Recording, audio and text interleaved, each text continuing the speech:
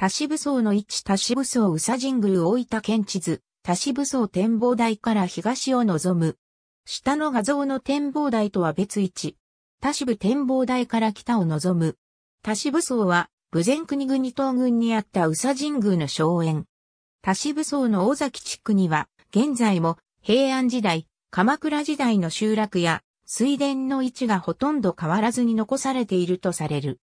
湾を伏せたような形をした国崎半島には、良子山を中心として四方へと谷筋が走り、古代にはこの谷筋に沿って、六号と呼ばれる6つの集落が形成され、そのうち半島の西側にあたる、この地には、田渋里があった。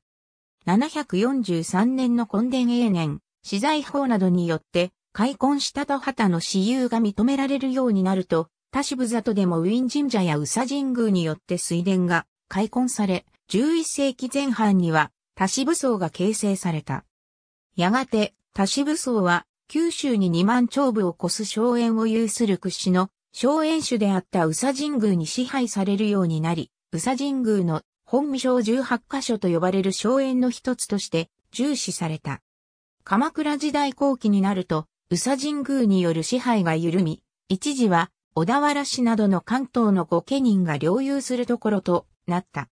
しかし、現行が起こると、その撃退に、宇佐神宮などの自社の祈祷が功を奏したと考えられたため、1281年には自社に領地を返還することを命じる診療、工業法が発せられ、田支部層は宇佐神宮に返還された。以降、田支部層は宇佐神宮の神官の子孫が田支部氏を名乗り、支配することとなった。田支部層の大崎地区には、国崎半島の谷筋にあるため、強愛な谷間に細かく区画された棚田が形成されている。この景色は、平安時代あるいは鎌倉時代から集落や水田の位置がほとんど変わらずに残されているものであるという。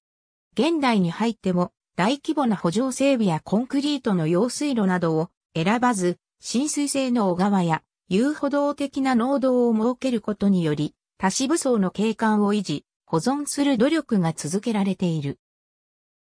2010年には、地区内の92ヘクタールが文化財保護法に基づき、多支部層、尾崎の農村景観の名称で、国の重要文化的景観として選定された。また、近年では農作業体験や農家民泊などのアグリツーリズムにより地域を活性化する試みが始められている。ありがとうございます。